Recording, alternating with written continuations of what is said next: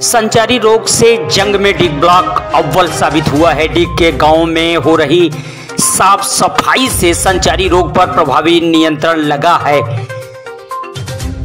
स्वच्छता समन्वयक ग्रामीण सरोज पांडे ने आज डिग ब्लॉक के कई गाँवों में निरीक्षण किया। निरीक्षण के बाद डीसी स्वच्छता ने कहा कि डिग ब्लॉक वाकई में स्वच्छता के मामले में अव्वल है। और क्या बोले डीसी स्वच्छता? सुनिए। विज़िट पे निकले हैं डिग में हैं तो क्या देखा?